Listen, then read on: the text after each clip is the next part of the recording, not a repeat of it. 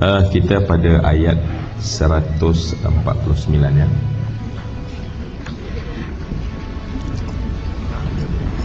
Okey. Nampak satu lagi munafik. munafik masuk dalam frame juga. Padahal dia tak ada pun dalam lakonan tu. Tapi pelakon tambahan uh, yang over. Uh, ya. Jadi isu utamanya yang ada yang ada isunya adalah Yahudi, yang ada isunya orang musyrik. Yang tak ada isunya munafik. Uh, tapi dialah yang berlebih-lebihan. So maknanya uh, li'alla yakuna linnas an-nas hunaka bimakna al-yahud wal musyrik aslan. Makna asal maknanya untuk Yahudi dan orang musyrik. Hai, Assalamualaikum. Terima kasih kerana menonton. Nama saya Kamarudin. Jangan lupa ya, subscribe channel saya Online Majlis Ilmu. Auzubillahi minasyaitonir rajim. Bismillahirrahmanirrahim. Allahumma inni abduka wa ibnu abdika wa ibnu amatika ناصيتي بيدك ماض في حكمك وعدل في قضاؤك. أسألك بكل اسم هو لك سميت به نفسك أو أنزلته في كتابك أو علمته أحدا من خلقك. أو استأثرت به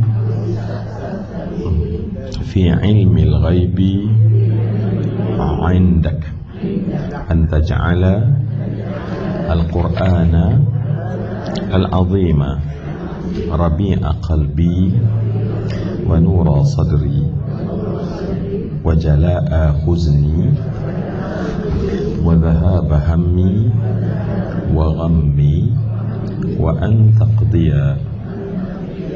حاجاتي.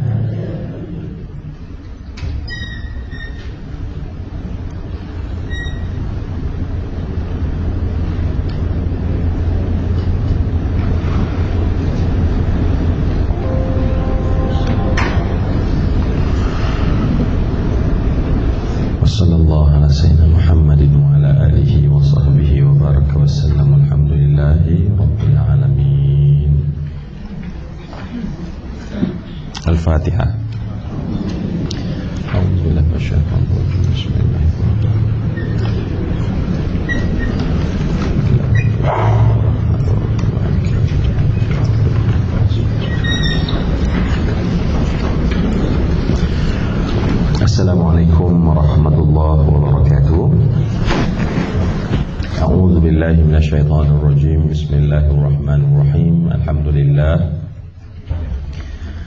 الحمد لله رب العالمين الصلاة والسلام على أشرف الأنبياء والمرسلين وعلى آله وصحبه أجمعين.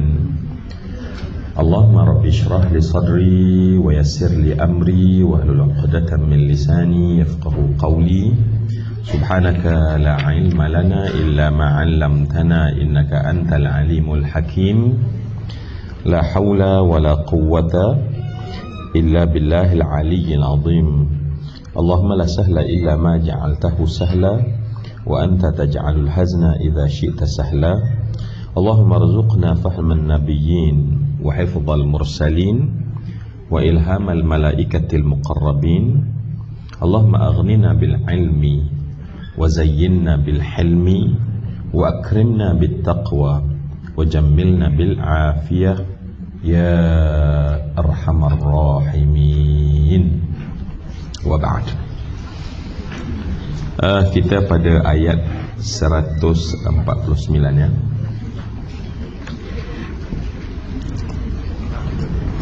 Okey وقال المصنف رحمه الله تعالى أن نفعنا بعلومه في دارين آمين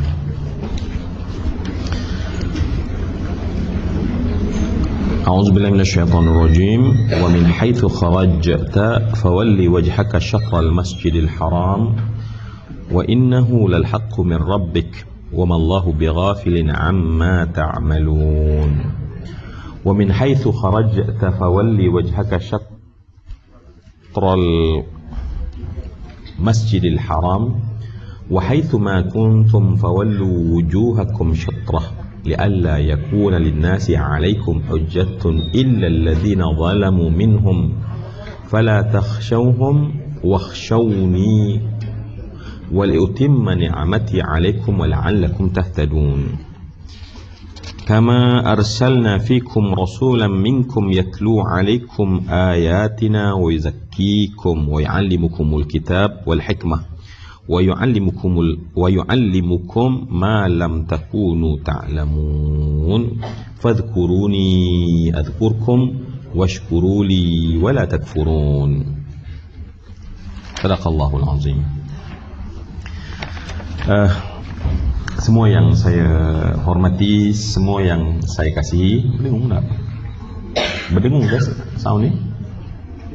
Okey kurang kan Okey. Ha, macam tu.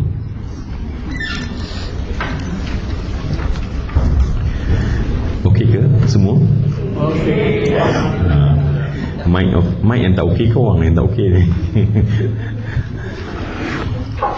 Baik, alhamdulillah seperti biasa, marilah kita jangan lupa untuk kita uh, menyebutkan rasa syukur yang tak terhingga ke hadirat Allah yang terus-terusan memberikan kita kekuatan, inayah dan taufik sehingga kita dapat menjadi tetamu Allah di masjidnya yang sangat mulia ini dan kita dapat uh, duduk diam di dalamnya dan lebih lagi diberikan nilai tinggi dengan kita berada pula dalam majlis ilmu dan semua benda ini insya-Allah kita harapkan akan dapat uh, benar-benar melahirkan dalam diri kita uh, rasa untuk istiqamah ya.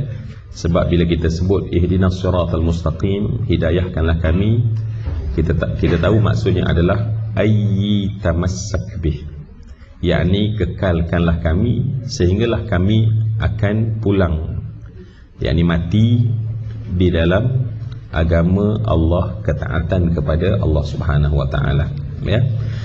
Dan untuk itu kita uh, menjadikan medium kita untuk kita memperkuatkan hati-hati kita ini dengan kita membaca ayat-ayat Allah.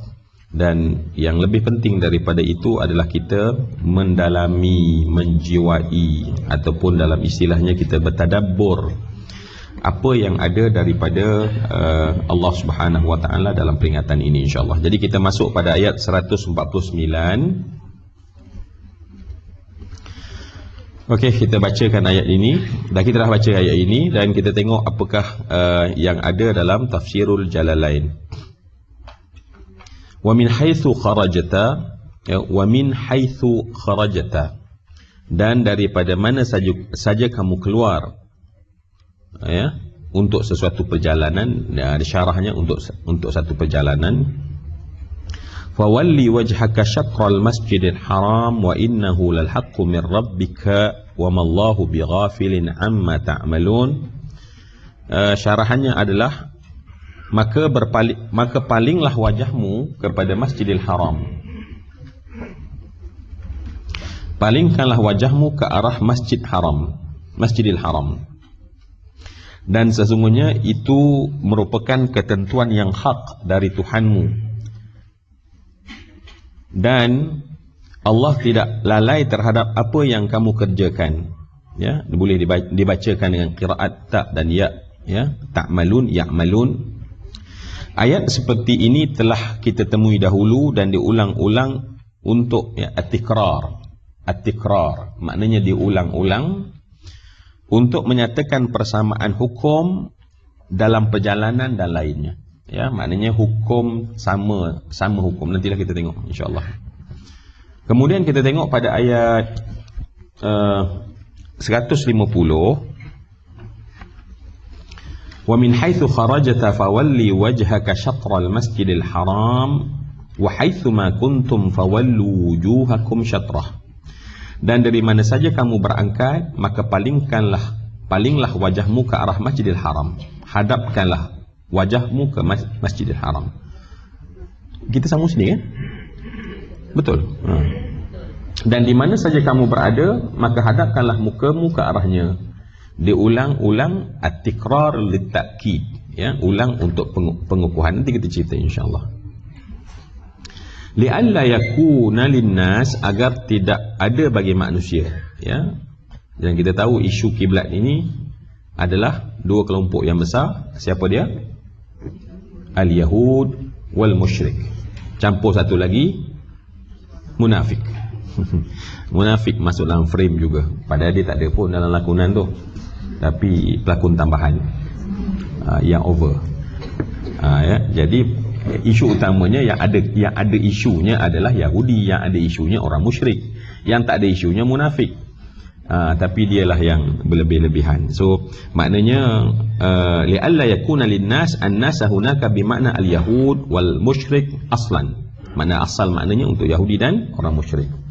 Alaikum hujjatun hujjah atas mereka. Maksudnya atas uh, maksudnya alasan agar kamu meninggalkan dan berpaling ke arah lainnya yakni untuk menyangkal perdebatan mereka kepada kamu. Ya misalnya orang-orang Yahudi dia kata disangkal uh, untuk orang-orang Yahudi disangkalkan agama kita tetapi diikuti kiblat kita. Ha, itu hujah-hujah yang berlakulah pada masa itu dan kata orang-orang musyrikin diakuinya sebagai agama Ibrahim tetapi kiblatnya bukan ke arah Kaabah illa alladhina zalamu minhum kecuali orang yang iniaya di antara mereka disebabkan keingkaran keingkaran. Maka uh, mereka mengatakan bahawa berpalingnya Muhammad ke Kaabah itu sebabnya tidak lain hanyalah kerana kecenderungannya kepada agama datuk nenek moyangnya. Uh, istisna ya illa tu. Illa istisna tu adalah illa atau pengecualian. Di sini adalah muttasil. Ini dari segi nahwu lah kita ya uh, ataupun berhubungan. Dan maksudnya tidak ada perkataan seseorang pun kepadamu selain daripada perkataan itu. Itu ialah poin-poin dia poin-poin yang duk pusing-pusing kot tu ya. Fala takhshawhum maka janganlah kamu takut pada mereka. Ya maksudnya teramat khawatir disebabkan peralihan kiblat itu. Wahsyawni maka takutlah kepada aku kata Allah yakni dengan mengikut segala perintahku yang sekarang kamu Uh, bincangkan yakni tentang perintah berpaling ke arah kiblat Kaabah. Uh,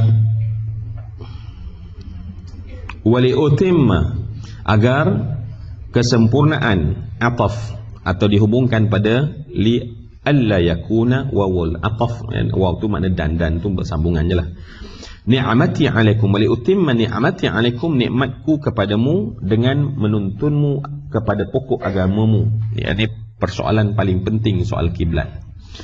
Wala'allakum tahtadun dan semoga kamu memperolehi petunjuk. Ya di atas kebenaran. Baik kita cerita hal ini dulu insyaallah semua yang saya kasih sekalian. Uh, sekali lagi uh, kita tahu bahawa apabila uh, please tengok-tengok kitab kita ni. Apabila Allah Subhanahu Wa Taala nak mengangkat kita yakni umat Muhammad sebagai umatan disebut umatan apa? Umatan wasatan. Umatan wasata. Umatan yang hebat yang paling tinggi yang paling mulia. Walaupun sebelum ini kita dah jadi macam saya ulang balik ya. Walaupun sebelum ni Allah mengulang-ulang tentang berapa kali Allah lebihkan faddaltukum alal alamin kami lebihkan kamu wahai orang Yahudi berbanding orang lain bukan sekali, bukan dua kali, berkali-kali Allah ulang-ulang-ulang. Maknanya uh, seolah-olah uh, Orang kata apa? Embedded command. Satu command yang telah ditanamkan bahawa Faddal tukum. Kami telah. Kami telah. Past tense. Past, past tense. Past tense. Maknanya bila dia past tense. Was. Were. Mesti ada yang sekarang. Yang present tense. Yang merupakan umat yang yang yang yang unggul yang hebat tersebut. Maka setelah semua itu maka barulah Allah menyebutkan tentang umat Nabi Muhammad sebagai umatan wasata. Itu kronologi dia lah. Kemudian untuk diangkat menjadi ummatan wasatan maka simbolik simbolnya adalah pada kiblah maka kiblat menjadi persoalan penting. Kiblat menjadi soalan penting. Maka Allah Subhanahu wa taala telah memilih telah menentukan bahawa Kaabah adalah merupakan kiblat bagi ummatan wasatan ini. Ya jadi tak dapat lari rupanya umat bila nak cemerlang dia mesti ada kiblat. Ya? Begitu jugalah kita. Ya? Makin kita berhadap dan dekat dengan kiblat maka makin kita akan jadi lebih cemerlang. Ha, ya? Ini juga termasuk anak-anak kita lah ha, ini kena masuk agenda agenda pendidikan lah maksudnya. Kalau kita nak uh, anak-anak kita generasi kita menjadi generasi yang umatan yang hebat maka tak dapat tidak kita kena masukkan dalam agenda memperkasa mereka hubungan dengan kiblat Ha, ya? Tak boleh jauh dengan kiblat. Tak boleh jauh. Sebab ni ulang oleh Allah Subhanahu Wa tiga kali pengulangan. Ya. Okey, Ibnu Abbas berkata, Ibnu Abbas berkata Ibnu Abbas, kenapa mengulang sampai tiga kali? Sebab macam kita tahu saya sebut juga sebelum ini, Al-Quran ada ayat yang disebut sebagai nasikh dan mansukh. Ayat nasikh dan ayat yang mansukh, ya, ada ayat yang uh, menasihkan, ada ayat yang kemudian menjadi mansukh. Itu salah satu perkara yang berlaku dalam uh, peraturan penurunan Al-Quran. Adanya ayat nasih, al-mansuk kita dengar kadang asbab an-nuzul. Kan kadang-kadang kita nak asbab nuzul Kadang-kadang ada ayat itu ada asbab nuzulnya, ada sebab turunnya. Baik, antara perkara yang penting dalam Al-Quran juga adalah nasih dan mansuk. Baik. Dan perubahan kiblat setelah 16 bulan. Ya. 16 bulan uh, umat Islam mengarahkan ke arah Baitul Maqdis Maka pada ketika itu diperintah untuk berpusing 180 darjah ke arah ke arah Kaabah, Makkah al-Mukarramah. Maka pada ketika itu uh, apa saya cakap tadi? Pusing tadi apa? Ha? Tak, saya nak sebut satu saya tengok satu lupa.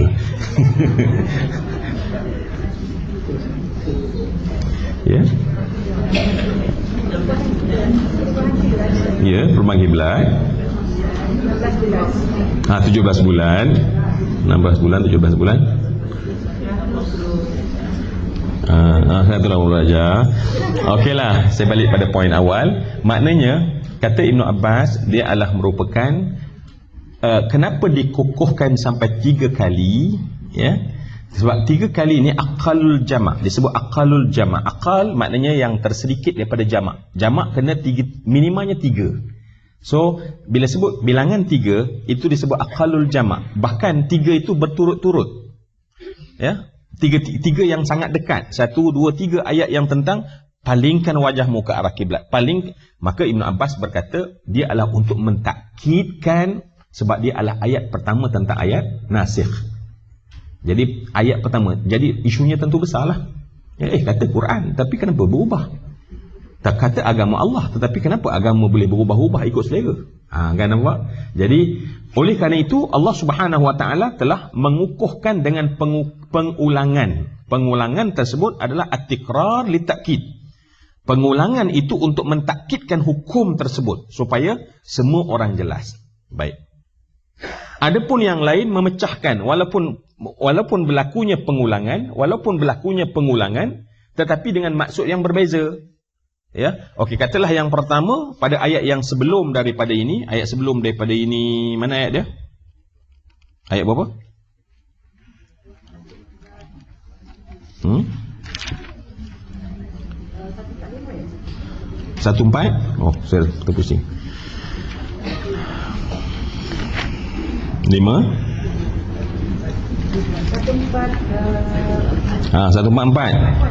Pada ayat satu empat empat, Allah Subhanahu Wa Taala fawalli wajhaka syatra al-masjidil haram hayr haram haythu ma kuntum fawallu wujuhakum syatra.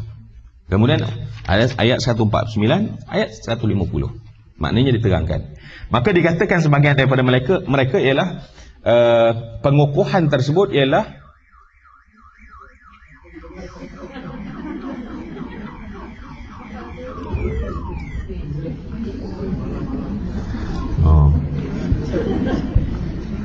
Okey, pengukuhan tersebut adalah yang pertama, harap hadapkan wajah kamu ke arah Kaabah, ya. Ialah ketika kamu berada di hadapan Kaabah. Itu maksud ayat yang pertama tu tadi. Maknanya bagi ke, bagi tujuan kamu berhadapan langsung dengan Kaabah. Sebab kalau kita tengok balik ingat tak sedikit catatan saya sebelum ini, sebelum Nabi berhijrah, Nabi menghadap ke arah Baitul Maqdis tetapi di hadapannya adalah Kaabah. Ha, sebab dia, dia punya apa? Dia punya direction tu adalah satu satu setentang, ya. Jadi bila pergi ke Madinah, dia tak boleh buat macam tu dah sebab dia kena sebab Mekah kat sini, Baitul Maqdis kat sana dia pusing. So dia kena pusing kan. So maknanya keadaannya adalah yang pertama kamu berada betul-betul di hadapan Kaabah. Fawallu wujuhakum syatra maka kamu kena hadapkan ke arah Kaabah. Okey. Kemudian yang kedua, pada penekanan yang kedua adalah apabila kamu tidak berada di di Kaabah. Di mana saja kamu berada, maksudnya di, di bukan di hadapan Kaabah, maknanya di mana-mana negeri yang lain. Dan kemudian yang ketiga adalah kata uh, yang kedua ni ataupun yang ketiga, dia adalah ketika kamu bermusafir.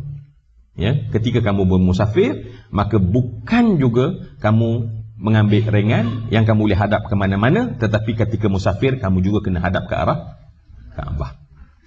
Baik.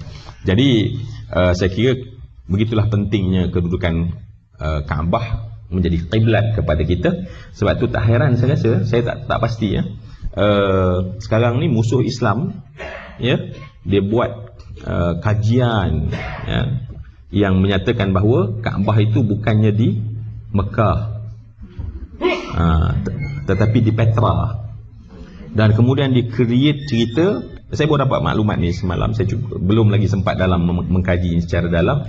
Dan ada juga di kalangan orang Islam yang dikata eh macam make sense lah. Oh, make sense. Sebab dia kata kerana politically sejak daripada Abbasid daripada Abbasiyah barulah berubah masa tu. Sebab dia kata even Nabi Muhammad pun bukan lahir di Mekah tapi Nabi Muhammad lahir di Petra ya kemudian berhijrah. Ini tetapi dia datang dengan hujahan-hujahan. Yang mungkin orang tak mengaji daripada dalam mungkin oh, rasa macam wah macam betul lah ya. Sebab sumber-sumbernya sumber-sumbernya adalah sumber-sumber yang bukan daripada al-Quran. Jawapan nombor satunya ada jawapan nombor satu adalah ya apa kata nabi? Jawapan nombor satu ialah umatku takkan berhimpun untuk kesesatan. Itu pesan nabi. Itu dah memang jadi kaedah dalam agama umat aku tak akan berhimpun di atas kesesatan. Mungkin seorang sesat, dua orang sesat, sepuluh orang sesat, tetapi bukan satu ummah akan jadi sesat. Dan sedangkan kiblah ni perkara paling penting. Sekarang kita sedang bincangkan perkara paling pokok yang menjadikan kita ummatan wasata. Jadi sebab itu dia cuba ubah, maka sebenarnya dikata kiblat kiblat kita ni yang betul-betulnya adalah ke arah Petra dulu. Dan itulah asal Muhammad dia kata. Uh, dia dia cuba kaitkan dengan adanya relevan uh, perkataan-perkataan, petunjuk-petunjuk yang ada dalam perkataan-perkataan kononnya yang disebut sebagai oleh uh, pengkaji-pengkaji ataupun uh, sejarawan, ahli-ahli sejarah. Which is bukan sejarah daripada orang Islam tak, bukan daripada Tabari, bukan daripada Ibnu Kathir, bukan daripada Ibnu Ishaq, bukan daripada Ibnu Hisham, tak, tak, tak. Ambil daripada sejarah luar dan kemudian tetapi orang Islam kata ah, macam macam logik jugalah. so saya kata nombor satu jawapan saya tak kaji lagi. Saya belum tengok lagi. Tetapi nombor satu Nabi pesan bahawa umat aku tak akan berhimpun di atas kesesatan. Itulah juga sebab itu persoalan akidah Prinsip Nabi sebut Sawadu a'zam. Prinsip akidah. Orang yang berakidah ni Akidah ni kena majority. Dia tak boleh minority. Untuk menjadikan pedoman dan panduan Maka sebab itu Majority adalah disebut oleh Nabi Sawadu a'zam. Maknanya Kelompok yang paling ramai yang Nabi sebut ahlu sunnah wal jamaah itu cirinya adalah sawadu a'zam. Ha, ya, apa yang kita imani, apa yang kita yakini di Nusantara ni, itulah yang kebanyakan di, itulah secara majoritinya diyakini oleh seluruh umat Islam di seluruh dunia. Ha, kan? Baik. Uh, saya cuba juga tengok uh, uh, orang kata dapatan-dapatan lain yang boleh kalau kita kongsi untuk kita nampakkan ya kehebatan apa yang ada pada Kaabah itu. Makkah al-Mukarramah. Makkah bukannya Saudi, Makkah al-Mukarramah. Ya, kita kena asingkan ya isu ni isu Makkah bukan isu Saudi. Arabia sebab Saudi Arabia tu masih baru. Ya, bukanlah uh, boleh disandarkan kepadanya kebenaran ataupun kebatilan tetapi perbincangan kita merujuk kepada Kaabah dan Makkatal Mukarramah itu sendiri ya baik semua yang saya kasih lihat apa yang kita nampak di sini tolong tanda ya siapa yang bawa pen dan kitab lah ya kitab dan pen maknanya kita sebut bahawa surah al-baqarah adalah surah yang memperjelaskan tentang hidayah bukan begitu saya ulang banyak kali kan Surah Al-Baqarah adalah adalah penjelasan terhadap hidayah yang kita minta dalam surah Fatihah. Seolah-olah seluruh surah Al-Baqarah adalah syarah untuk mendapat hidayah. Maka tolong tanda wala'allakum tahtadun tahtadun. Baik ya. Adanya kalimah hidayah di sana. So maknanya isu kiblat ya isu pengukuhan terhadap kiblat dan apatah lagi dalam konteks kita memahami rahsia uh, kenapa Kaabah itu menjadi tempat kiblat orang Islam juga akan menyebabkan kita mendapat hidayah dan petunjuk ya mendapat hidayah dan petunjuk so tanda pada tahtadun tu la'allakum tahtadun maknanya di sana makna hidayah maknanya itu adalah uh, penerangan kepada cerita asal sebab cerita asal adalah tentang, adalah tentang hidayah kalau kita perasan, setiap satu kisah hujung nanti ada hidayah. Kita dah cerita sebelum ni. Bila ada satu poin-poin penting, maka Allah akan gunakan kalimah hidayah kat sana. Ya, sekarang, poin yang pentingnya adalah tentang arah kiblat dan sekali lagi, kita dapat jumpa secara konsisten betapa tentang hidayah Allah subhanahu wa ta'ala. Okey? Ya, macam tak ni, macam Ya? tahtadun. Ha ah. La'allakum tahtadun ya. Present tense ya. Kamu mendapat hidayah. Maknanya kamu sekarang mendapat hidayah. Kamu sekarang mendapat hidayah. Mana hidayah ya? Sebab present tense ataupun fi'il mudhari' adalah hal wal mustaqbal. Sekarang dan masa depan. So maknanya hidayah kamu sekarang dan masa depan. Dan isu pun isu yang sekarang ya. Sebab yang diceritakan umatan wasatan adalah isu sekarang. Kaabah yang berubah adalah isu sekarang. Maka sebab itu digunakan kalimah terima kasih. Tuan Haji. Terima kasih bahawa maknanya kita disebutkan bahawa kita adalah orang yang sekarang mendapat hidayah. Ya, la'allakum tahtadun, semoga kamu mendapat hidayah. Semoga dengannya yang dengan kiblat ini, dengan isu kiblat ini kamu akan mendapat hidayah daripada Allah Subhanahu wa taala.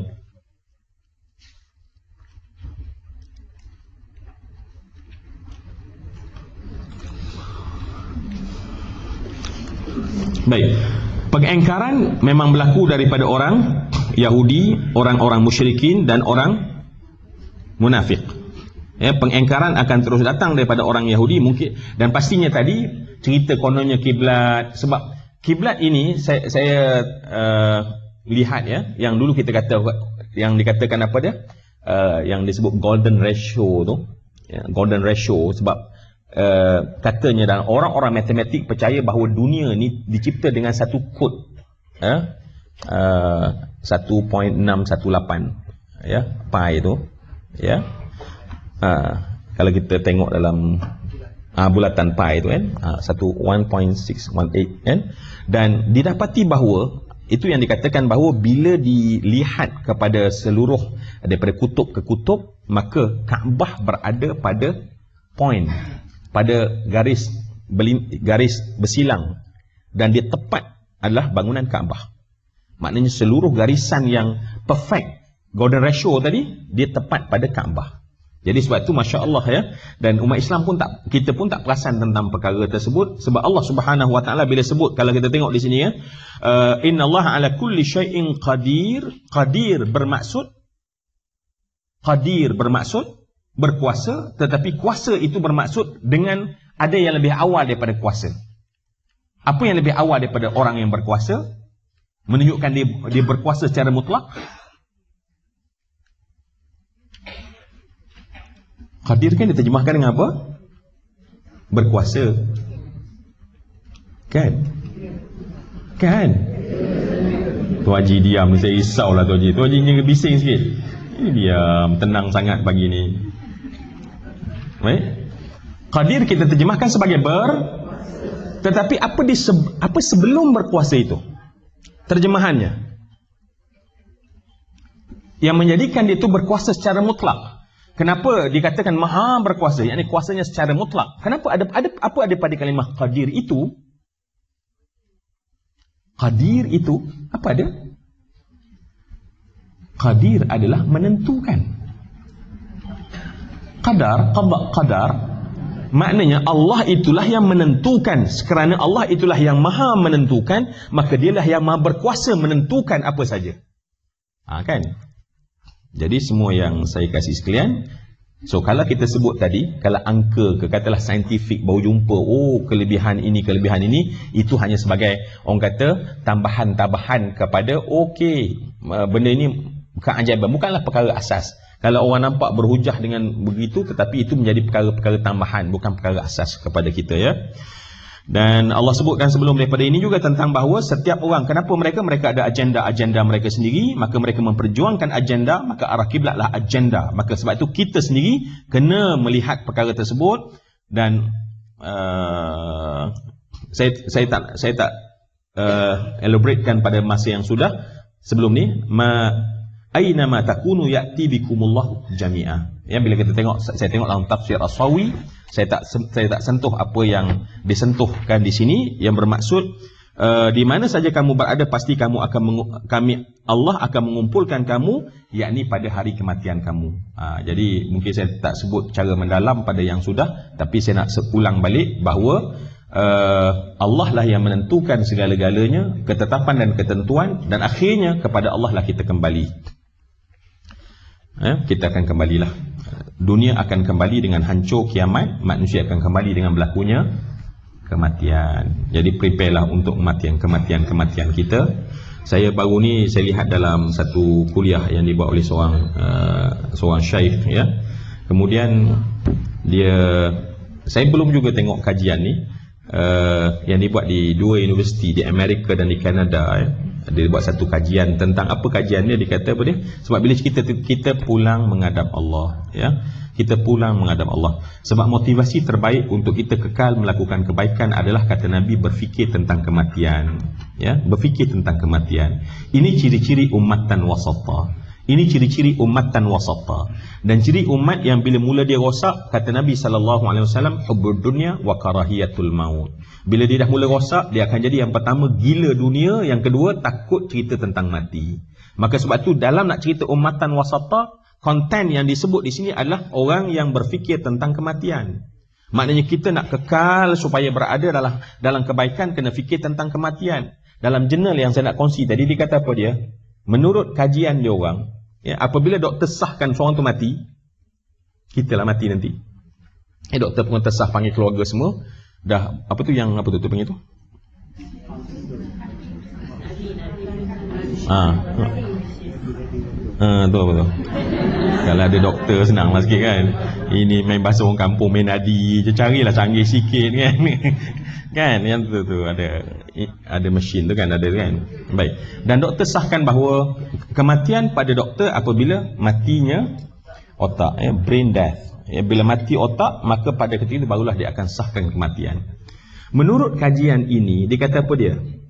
Mereka mula mendapati bahawa sebenarnya orang mati, setelah dia mati, dia masih dapat mendengar.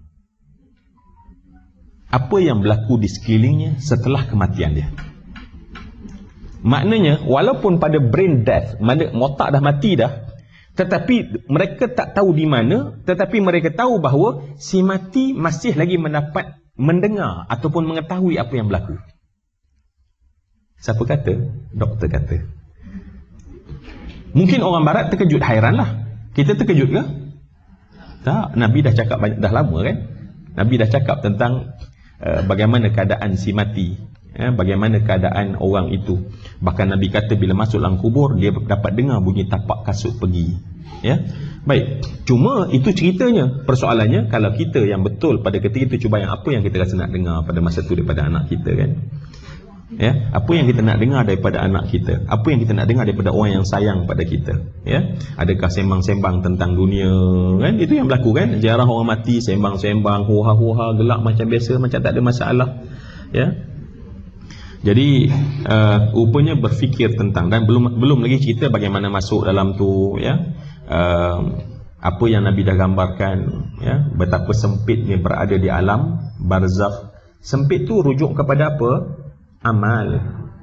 Amal sedikit sempitlah. Sekira-kira seperti kata Nabi berceragah kita punya tulang rusuk.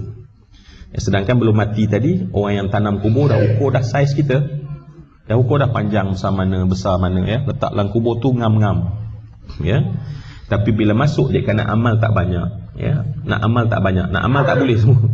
Selawat pun tak boleh nak zikir pun tak boleh buat sikit-sikit saja maka sempitlah pada ketika itu dan ada manusia yang saujana mata memandang Maknanya luas seluas-luasnya dilapangkan selapang-lapangnya oleh Allah Subhanahu Wa Taala. The power of choose memilih sekarang kita pilih, bukan masa tu pilih. Ya, bukan masa tu pilih bila masuk dalam deal dengan malaikat ya, ada bagian malaikat bagian property ya yang menentukan okey bersama mana. No no no no, tak ada ya. Sebab itulah perkara cuba bayang kalau kita menyedari pada masa itu dan kita sedar bahawa oh aku dah mati rupanya. Oh benar rupanya. Dan sebab itulah disebutkan bahawa sesungguhnya kematian itu adalah benar soalan mungkar dan nakir itu adalah benar azab kubur itu adalah benar akan dibangkitkan kembali adalah benar kamu akan berdiri di hadapan mahkamah Allah itu adalah benar berjalan di atas jalan sirat mustaqim itu adalah benar sesungguhnya adanya syurga itu adalah benar neraka itu adalah benar dan didengar dengan benar oleh orang dalam kubur cuba bayang pada masa tu rasa nak bertaubat. Tetapi tak ada peluang untuk bertaubat. Sekarang kita rasa ya Allah aku ni banyak dosa lah ya Allah. Astagfirullahaladzim ya Allah. Tolonglah ampunlah dosaku ya Allah. Boleh. Sekarang kita rasa nak bertasbih bertakbir bertahmid kepada Allah boleh. Kita lancar. Subhanallah subhanallah subhanallah subhanallah. Ini nak bertak, ber, nak bertakbir. Allahu akbar Allahu akbar Allahu akbar. Semua boleh. Tapi pada masa tu sedar tetapi tak boleh nak takbir tak boleh. Nak istighfar tak boleh. Nak minta ampun tak boleh. Hanya satu je yang dia orang harap pada tu. Tolonglah pulangkan kami ke dunia. Tu je. Baliklah please ke Syah Alam. Please baliklah Syah Alam. Please balik. Dan itu saja. Dan tentu tidak ada peluang tersebut. Jadi jadi kita kena masuk juga elemen tu untuk diri kita. Untuk kita baiki diri kita menjadi umat yang hebat. Dan kemudian baru bergabung dengan uh, kiblat yang kita bincangkan ini. Okey baik. Kita sambung ayat 151 kama arsalna fikum rasulan minkum. Okey, ma ma sekali maaf saya lagi. Bila saya pergi saya nampak belakang ya, atas ayat yang patut kita sebut. Allah Subhanahu wa taala sebut wali utimma ni'mati alaikum. Ha, ingat ya, ini adalah muqaddimah bahawa umat ini menjadi umat cemerlang. Tolong tanda juga ya wali utimma ni'mati alaikum. Tolong tanda sebelum tahtadun tadi. Kenapa saya minta tanda? Sebab Allah Subhanahu Wa Taala menyebutkan bahawa bahawa perubahan kiblat itu adalah sempurnanya nikmat. Nikmat apa? Bila sebut nikmat, nikmat apa di sana? Nikmat ha, iman dan Islam. Nikmat Islam.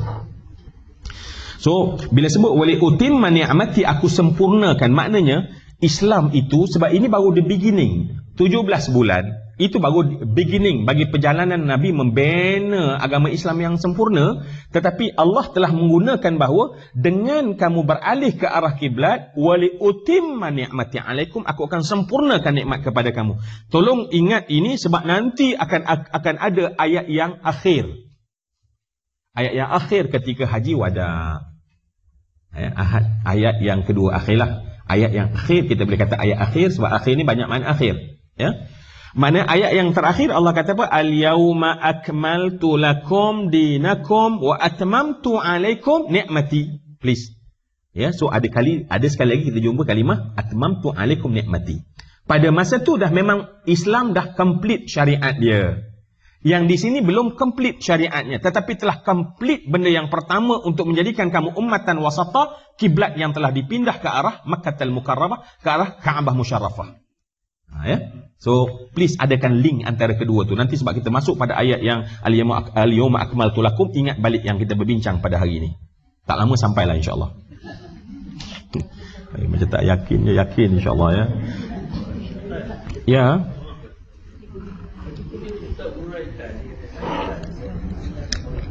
Kiblat dengan hidayah.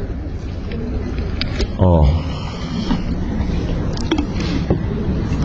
Okey, Tuan Haji tanya saya sebab ceritanya ialah cerita tentang kiblat. Tetapi kita Allah menutup isu ini dengan semoga kamu mendapat hidayah. So maknanya apa kaitan yang dekat antara kiblat dengan hidayah? Baik, terima kasih Tuan Haji. Saya suka Tuan Haji bila cakap. Dan saya risau bila Tuan Haji tak cakap. Diam ya. Bingung kerana penerangan saya ke? Saya tak clear. Saya... Oh, okey, Tuan Haji, terima kasih. Baik, semua yang dikasih sekalian ya. Okey. Bila kita arah bila bila Allah Subhanahu dan bila kita menghadapkan ke arah kiblat dan kita katakan bahawa isu itu penting pada Allah dan umat dianggap penting maka ditikrarkan litakkid maka diulang-ulang dan diulang-ulang betapa pentingnya kamu menghadap ke arah kiblat. Ya kiblat kamu ke arah Kaabah ya. Kiblatnya memang dulu kiblatnya ke sana tetapi mana kiblat itu ke arah Kaabah. Kenapa penting kiblat ke arah Kaabah? Baik. Yang pertama tentulah bahawa balik kepada asal kejadian manusia ini. Kan Allah dah sebutkan dalam asal-asal kejadian pada ayat-ayat yang lain inna awwala baitin wudi'a lin-nas alladhi bi Bakkah sebab dengar tak perkataan bila kita ni kadang-kadang nak macam gedi-gedi, nak lalai-lalai, lupa-lupa, orang, orang pesan apa? Ha, apa? Engkau tu ingat asal usul kau tu orang tembeling. Nampak tak? Sebab Tuan Haji membawa manusia balik kepada asal usul itu adalah poin utama supaya kita tak lari daripada petunjuk mengembalikan kita pada asal usul. So maknanya dalam keseluruhan besar dalam cerita besar kita adalah bila beralih ke arah bila beralih ke arah uh, kiblat yang ada di Makkah di Kaabah maka itu adalah rumah pertama manusia. So kita sedang mengembalikan manusia kepada asal usulnya. Inna awwala baitin wudi'a lin-nas alladhi bi Bakkah. Ya, Rumah yang pertama dibina. Sebab apa tujuan Allah rumah pertama dibina? Tentulah supaya manusia ada tempat bagi mereka itu berhubung dengan Allah. Sebab Allah yang menghantar mereka ke atas muka bumi. Jadi kalau tuan uh, nak nampakkan dia signifikan dia sebab itu adalah rumah yang pertama dibina oleh Allah dan mengembalikan manusia pada asal menyebabkan manusia akan kekal di atas petunjuk dan hidayah. Sebab nanti orang akan reka hadap ke arah sana ya. Uh, hadap ke arah sana dan sini. Dan dalam bahasa biasa, dalam bahasa biasa tengok eh pada hari ini orang kata apa dia? Kita dah berkiblat ke mana? Ah, kita dah berkiblat ke arah wanita, kita dah berkiblat ke arah tahta, kita dah berkiblat ke arah kuasa. Ah, nampak kiblat dah lagi dah. So nak jadi baik, balik pada asal, balik kepada kiblat yang sebenar. Dan yang sebenar daripada segala yang sebenar adalah di Makkah Al-Mukarramah. Ha, itulah di samping Tuan Ji yang tentu kelebihan, kelebihan, kelebihan yang memang Allah dah simpan bagi uh, bagi Kaabah musyarrafah itu tentu banyak. Sebab itulah kita doa pada pagi hari ini ya Allah, rezekikanlah kami ya Allah untuk menatapnya secara langsung fi kulli sana pada setiap tahun. Amin ya Rabb. Separuh je amin, yang lain tak berapa ya. Ha, kan? Ha, itu maksudnya ya. Okey. Okey, setidaknya saya jawab yang itu dulu lah sebab banyak sampai kelebihan-kelebihan-kelebihan yang lain nanti ya. Ha, ya. Dan tentulah kalau nak kira faktor-faktor lain, rupanya umat yang satu mesti ada tujuan yang satu, hala tuju yang satu. Ya, cuba bayang kalau tak adanya perintah bahawa uh, kiblat ni menjadi satu poin penting. Maknanya setiap orang nak solat, solat je lah. Ya, kita akan nanti cuba bang. Cuba bayang kita ada masjid ni. Kat RNR tu pun dah kabut dah. Biasa pergi RNR, Ya semayang kat RNR compare dia semayang Masjid Syah Alam beza dah. Masjid semayang Syah Alam masya-Allah kalau Zuhur semua semayang seorang imam ramai makmum. Pergi RNR ada bangunan, oh, seorang sana sujud, seorang sini, ni jamaah pula, ni jamaah. Eh, kenapa? Cuba bayang. Itu baru kiblatnya sama, cuma tak ada peraturan solat yang sama. Itu pun dah tengok caca merbah dah kita tengok ya. Dah tak ada kekuatan sama sekali dah. Ya? Cuba bayang kalau, cuba bayang, just imagine. Cuba bayangkan kalau lah tiba-tiba memang kiblat ni tak penting. Bukan menjadi sebab yang pertama untuk menjadi umatan wasata. Bukanlah kerana liutimma ni'amati alaikum. Dan datang perintah solat. Dan solat tu mana-mana saja. Ini ni, kita masuk tadi tu. Ramai semain duha kan. Seorang hala ke sana sebab hari ni nak tengok uh, uh, sebab, sebab dia nak jabat apa Maiz ya. Jadi hala kemair seorang ya. Seorang tu tengok rumah dia takut rumah dia tak tahu jalan. Pisau hala kawasan muslimah ya. Seorang tu nak buang air, lepas dia semayang, hadap terus siap-siap ke arah tandas. Tuan tu boleh bayang tak ya? Boleh bayang tak? Maknanya bila tiba-tiba adanya peraturan ini, semua manusia, badan-badan mereka berubah wajahnya ke satu tempat. Dan kemudian untuk lebih atas, kita, kita naik ke atas lagi, bukan sekadar orang-orangnya, seluruh rumah-rumah Allah di seluruh dunia, seluruh bangunan-bangunan masjid di seluruh dunia, semuanya menghala ke tempat yang sama. Ittihad. Inilah kesatuan untuk asas penting kepada umatan wasata itu. Umatan wasata, dia kena ada kiblat yang sama. Dia kena ada kiblat yang sama. So itu prasyarat ya. Maka ikut tu, dapatlah hidayah dan petunjuk insyaAllah. Ya. Ini yang penting ya. Sebab itulah kita ni kena ada kena ada sense yang kuat dalam hati kita terhadap ahlul kiblah yang lain. Ya, semua ni adalah ahlul kiblah. Semua ahli kiblat. Maksudnya ini kiblat yang sama, kiblat yang sama, kita mesti ada sense yang kuat hati kita. Oh ni ahlul ni ni, ni ahlul kiblah. Jangan mudah-mudah kita uh, apa dia? Jangan mudah-mudah kita sesatkan, labelkan dan segala macam. Hanya kerana mungkin kita tak berapa sama. Uh, mungkin pandangan kita tak sama kita terus kata ah dialah lakum dinukum waliyadin mudah sangat manusia ni lakum dinukum waliyadin ya. Dah dah dah dah. Itu semua bukan. Yang penting sekali kita tetap kepada menyembah Allah yang esa pada kiblat yang sama insyaallah Okey jom kita baca lagi kita sambung lagi. Okey. Kama arsalna fikum rasulan minkum. Kama seperti mana? Arsalna kami telah utuskan fikum pada kamu rasulan seorang rasul minkum juga daripada kamu. Okey. Berhubung okey berhubung dengan lafaz utimma yakni untuk menyempurnakan sebagaimana sempurnanya utusan kami iaitu Nabi Muhammad sallallahu alaihi wasallam jadi ayat ini bersambung sebenarnya ka sebab bila sebut dalam bahasa Arab seperti seperti apa? Mesti kama. Bila sebut kama, ka seperti seperti apa? Okey, seperti umat yang di seperti nikmat yang kami sempurnakan kepada kamu. So nikmat kita ni ada satu namanya nikmat agama, yang kedua sekarang Allah spesifikkan adalah rasul itu nikmat untuk kamu. Ya, kita kena rasa benda tu. Kena rasa bahawa rasul adalah nikmat untuk kita. Ya. Sebab tu dikatakan dikatakan kama sebab seperti. So seperti mana? Yang maksudnya adalah liutimma tadi. Yang kami sempurnakan bagi nikmat. Dan sebab itulah setiap apapun gagasan yang ada dalam Islam dia mesti refer kepada batang tubuh Rasulullah. Ya, ingat ini adalah prinsip.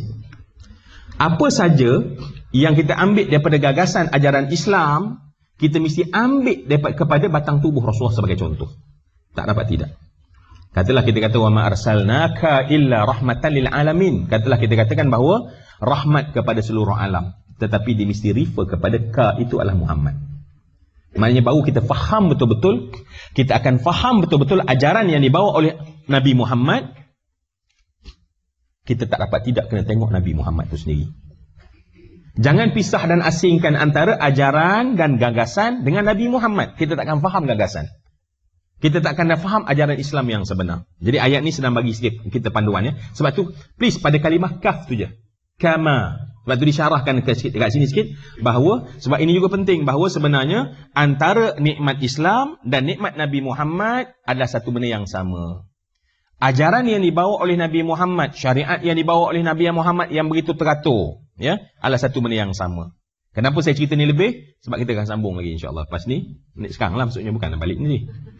Ha, ingat tak bedakan. Ya. Okey. Yatlu alaikum ayatina. Jod Nabi Muhammad itu rasulan adalah nakirah. Bila, bila sebut seorang rasul maknanya tak lain tak bukan adalah Nabi Muhammad. Tidak lain dan tidak bukan adalah Nabi Muhammad yang apa tujuannya? Yatlu alaikum ayatina. Mana yatlu alaikum? Apa uh, tak saja tanya je ada dalam tu. Kan? Apa makna yatlu alaikum? Dia yatlu alaikum. Sedang membacakan kepada kamu. Ya? Apa kita nak kata tu? Apa maksudnya? Yatlu? Baik. Ayat yang pertama apa? Iqra. Baca kan? Yatlu. Baca. Apa beza di antara baca yang kedua-dua baca ini? Qira'ah wa tilawah. Mal farqu bainahuma antara iqra. Yang ni Allah tak kata bacakanlah kepada mereka dalam bentuk qira'ah. Tetapi Allah kata yatlu bacakan. So apa baca di antara qira'ah, iqra dengan utlu. Okey, dari segi bahasa, dari segi bahasa, iqra bermaksud baca. Walaupun mungkin kamu tak faham. Baca. Dia cara umum, baca. Okey. Cuba baca doa Allahumma anta rabbi la ilaha baca cuba baca Allahumma anta rabbi la ilaha illa anta khalaqtani Okey stop. Setakat tu je. Baca tak? Apa kita maksudnya? Kita faham pun boleh tak faham pun tak apa. Nampak? Itu dia qiraah. Adapun utlu ialah baca yang faham. Utlu tilawatan adalah baca yang faham. Dia tak boleh baca yang macam baca yang tanpa difahami. Okey? Maka sebab itu Allah Subhanahu Wa Taala kata, nabi ini, nabi ini datang untuk dia iqra, tapi untuk umat utlu. Hmm. Ya, untuk nabi iqra, wahai Muhammad bacalah, bacalah, bacalah. Tetapi untuk umat Allah perintah pada Nabi Muhammad, bukan perintah, maknanya cerita ni khabarnya adalah Rasul itu diutuskan daripada kalangan kamu, ia telu dia sedang membacakan ke atas kamu ayatina, ayat-ayat kami. So baca tu dengan faham. Dan faham tu dia banyak degree lah. Dia ada deep understanding, dia ada deepest, they go to the deepest deep, ya. Makin dalam, makin dalam, makin dalam. Sebab tu kita minta pada Allah, ya Allah, fahamkanlah kami ya Allah dengan men, dengan mendalam. Fahamkanlah kami dengan mendalam.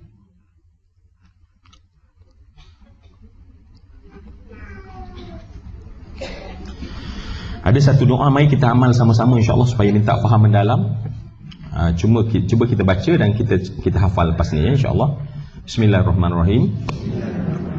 Allahumma ftah li min khazaini ilmika fahman mubaraka innaka anta al-fattahu al-alim kita baca lagi sekali. Bismillahirrahmanirrahim. Allahumma ftah li min khazaini ilmika fathan mubaraka innaka anta al-fattahu al-alim. Sekali lagi. Allahumma ftah li min khazaini ilmika fathan mubaraka. Innaka anta al-fattahu al-alim. Amin ya rab okey. Dibacakan kakak tadi? Ha? Makna okey supaya kita jadi yatlu kan kata nak baca saja kan? Just recite ya. Tu ada recite doa. So dia recite dia mungkin baca je. Dia tak nampak apa yang maksudnya. Allahumma ya Allah iftahli ya Allah bukalah bagiku ya Allah min khazain daripada khazanah-khazanah ilmu engkau ya Allah. Ya. Ya Allah bukakan bagiku ni ya Allah daripada khazanah-khazanah ilmu engkau ya Allah fathan mubarakah pembukaan yang penuh dengan keberkatan fathan mubarakan. Ya kita minta bukan sekadar terbuka tetapi pembukaan yang penuh dengan berkat. Innaka sesungguhnya engkau anta engkau wahai Allah al-fattah maha pembuka al-alim maha mengetahui. So uh, amal ini ada seorang ulama dia membacakannya. Dia kata terutama bila dia rasa macam dia perlu sangat memahami dengan lebih mendalam dengan lebih mendalam dengan lebih mendalam. Dan ini yang kita kan ini this is our journey dalam dalam pengilmu pengetahuan. Kita nak minta Allah bagi khazanah ilmu yang banyak yang banyak kefahaman yang lebih dalam yang lebih dalam yang lebih dalam. Sebab bila sebut uh, yatlu tadi kita katakan kefahaman kefahaman boleh jadi faham sikit faham banyak sikit faham sederhana banyak faham banyak betul ya dan ini berbeza-beza. Dan kenapa kita nak? Sebab Allah sebut dalam Al-Quran innama yakhshallah min ibadihi ulama. Hanya senya yang takut pada Allah yang sebenar-benarnya adalah ulama so kita tidak ulama tetapi kita nak ada satu kefahaman yang difahami oleh seperti Allah campak kepada para ulama sampai kita benar-benar takut pada Allah itu tujuannya okey Okey, ayatina membacakan uh, yatlu uh, maksudnya kita terjemahkan dalam kelas kita bacakan dengan kefahaman yang mendalam. Alaikum ke atas kamu ya. Jadi ini dibacakan kepada kamu semua kita selain uh, yakni sebagai umat ayatina akan ayat-ayat kami yakni Quran. Wa yuzakkikum Ya, yang pertama membacakan bagi kamu. So yang kedua yuzakikum. Ya, Rasul ini tujuannya adalah yuzakikum, mensucikan kamu. Ya. Apa maksud yang pertama mensucikan itu adalah fungsi pertama Nabi adalah mensucikan daripada perkara-perkara yang syirik. Ya. Kalau kita tengok secara secara lebih globalnya adalah terbagi pada Nabi itu menyucikan satu, dua, tiga empat paling tidak ya. Yang pertama mensucikan akidah daripada perkara yang syirik.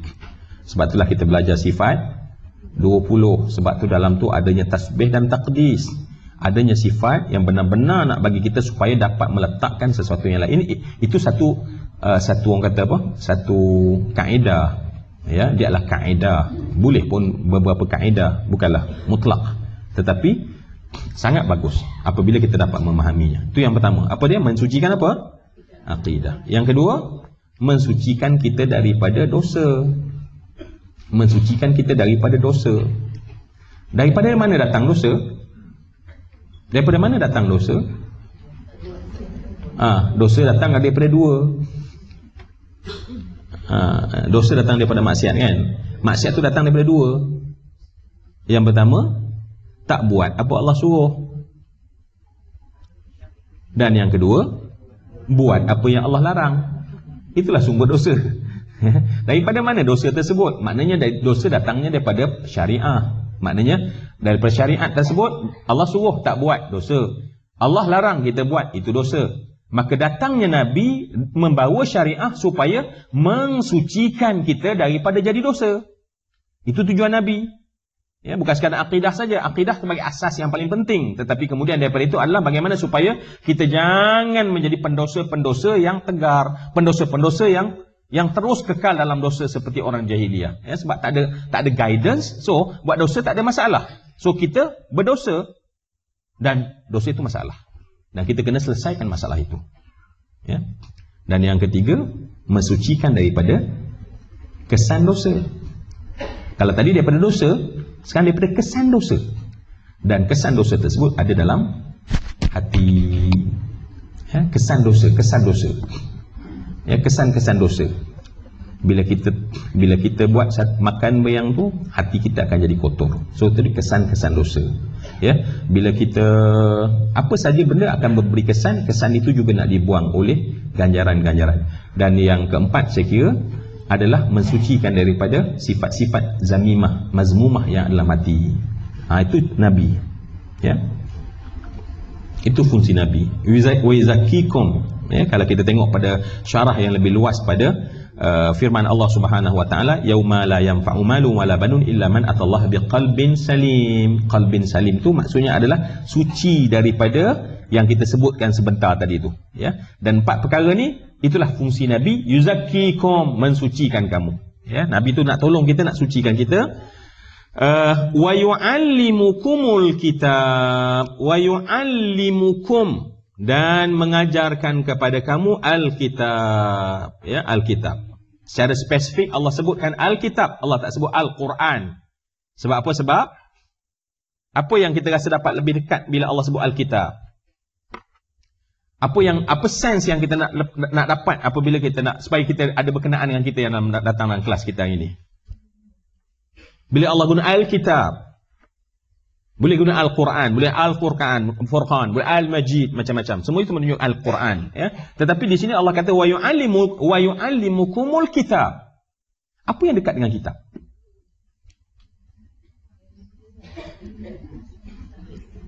Kitab? Bil kitabah. Ha, maknanya orang mengaji dia kena bawa kalam, kalam, faktub, al-kitabah, ya walaupun maknanya kitab itu maknanya alkitab al-Quran tetapi secara lebih dekat ialah al-Quran itu dekat dengan catatan. Dekat dengan catatan. Jadi sebab tu maknanya orang mengaji. Bawa kita alhamdulillah dah bawa dah. Dan mencatat. Ya, dan mencatat. Ini signifikan saja.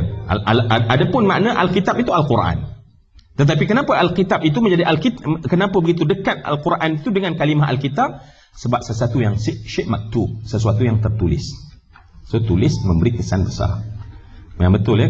Sebab tulis ni, tulis ni bila kita dengar dia akan masuk. Bila kita cakap dia akan keluar. Tetapi bila kita tulis, dia ada satu lagi proses dalam knowledge. Sebab tu dia lebih kukuhkan ilmu dia akan lebih kukuhkan ilmu. Sebenarnya proses kita menulis itu sebenarnya sedang mengukuhkan ilmu kita. So kalau kita nak satu benda tu teri, ter, ter, ter, eh, betul-betul diingat so tulis. Ya. hari ini cuma tulis hari ini macam-macam. Pakai pen ada yang pakai type. Ha, yang pentingnya syek maktub tertulis sesuatu. Itu tambahan saja. Adapun makna sebenarnya adalah al Quran. So Nabi ini yu'allimukum sebab sebab tu bila gunakan kalimah yu'allim. So Nabi ini seorang muallim yang mengajarkan apa yang diajar oleh Nabi Al-Kitab, yakni Al-Quran. Kalau kita tengok yang tadi kan, yang pertama tadi dah bacakan kepada kamu kitab. Tetapi datang lagi taksis pengkhususan ajarkan lagi kepada mereka Al-Kitab. Sedangkan yatlu alaikum ayatina. Ayatina tu maknanya ayat-ayat kami. Ya, maknanya di sana, di sana juga diletakkan bahawa Al-Quran. Al-Kitab, ini Al-Quran tetapi mesti memberi makna-makna yang lebih mendalam pada setiap kalimat tersebut. Ya. Dan wal hikmah dan wal hikmah dan hikmah. Al-Quran dan hikmah. So apa yang dimasukkan al-hikmah di sini? yakni hukum hakam yang terkandung di dalamnya.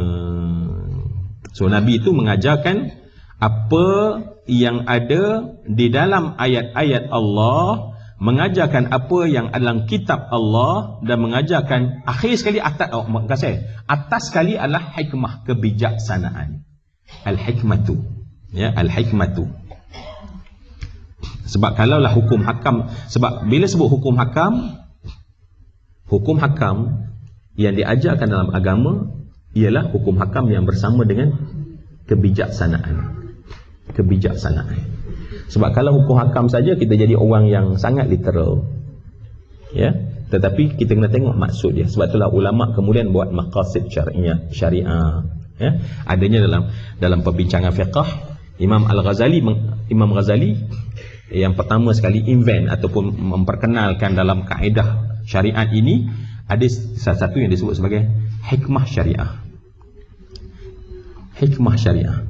Hikmah maknanya bukan sekadar hukum, yang ada dalam syariat tetapi dia punya hikmah dia tu. Apa kebijaksanaan? Kenapa Allah bagi ni? Kenapa best Allah bagi? Kenapa best ni? Kemudian dikembangkan lagi kemudian menggunakan kalimah maqasid asy-syariah. Biasa dengar kan maqasid syariah. Maknanya kita kena faham bahawa bukan sekadar uh, bukan sekadar benda yang tertulis tetapi yang tersirat daripada yang tertulis. Itu hikmah.